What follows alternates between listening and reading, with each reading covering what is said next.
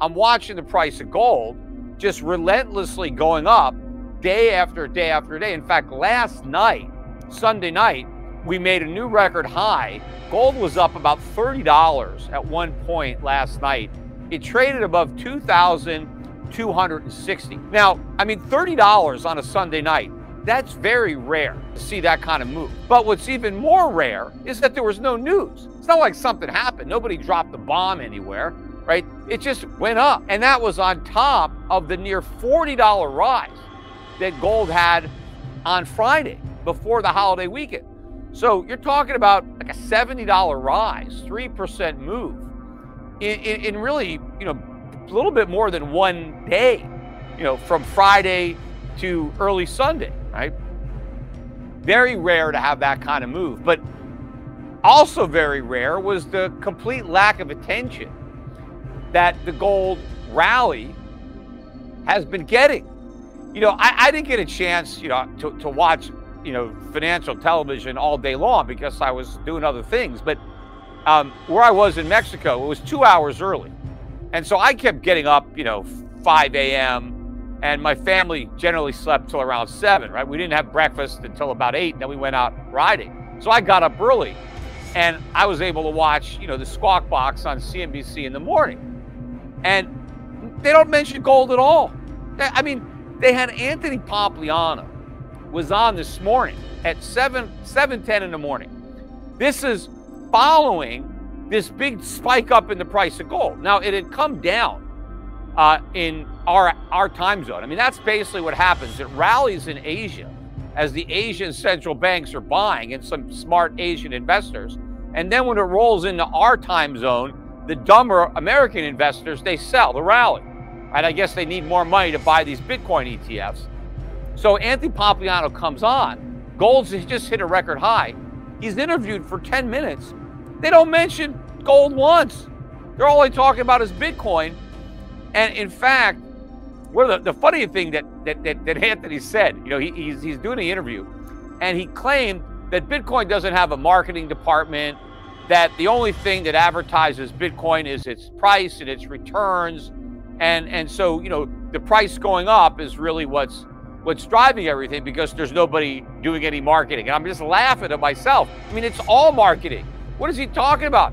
I mean, he's he's an army. He's a soldier in the Bitcoin army. In fact, he, he, he I actually he's he's not just a soldier. He's he's an officer, right? He's high ranking. He's one of the leaders of that army to constantly pump Bitcoin. And the biggest irony is he's claiming that Bitcoin doesn't have a marketing department on CNBC which is a network that is basically dedicated to promoting Bitcoin.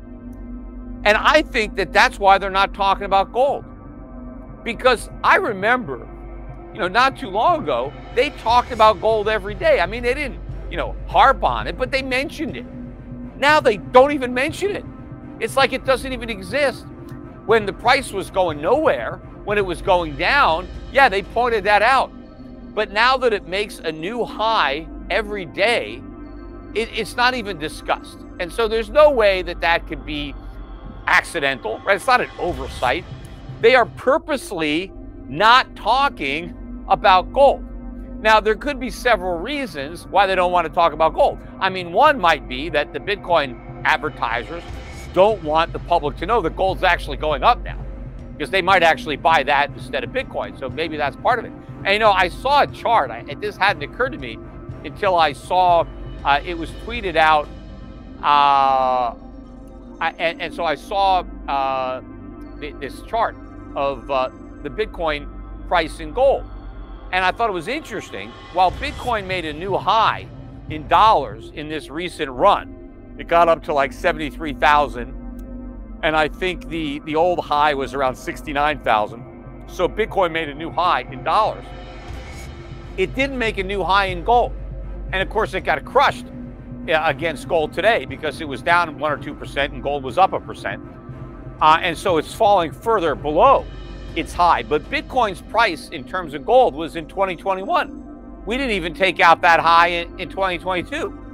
So we'll see. I mean, maybe Bitcoin is never going to make a new high in gold. That would be very interesting. But there could be another reason that CNBC and other financial analysts don't want to talk about gold is because of the message that gold is sending. Because what gold is telling you, and gold is making new highs the way it is.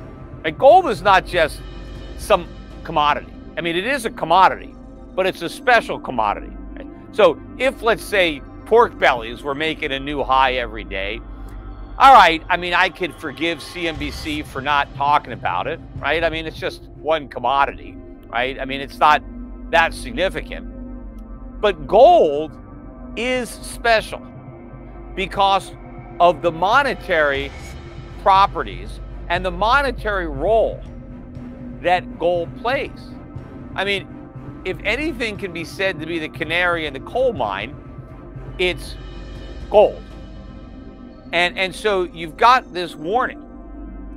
And nobody is paying attention to the message, even reporting that the warning bell has been sounded.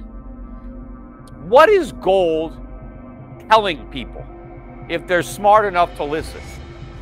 What gold is screaming is that what the Fed is contemplating is a mistake. That cutting interest rates, whenever these cuts begin, is the wrong policy. That interest rates are actually too low and they need to go up. But the Federal Reserve and the financial media are ignoring this warning. And the investors, I mean, you know, they, they, they are clueless, right? The warning is falling on, on, on deaf ears. And maybe one of the reasons is they don't even know that the warning's been sounded because the financial media is got radio silence on this stealth gold rally.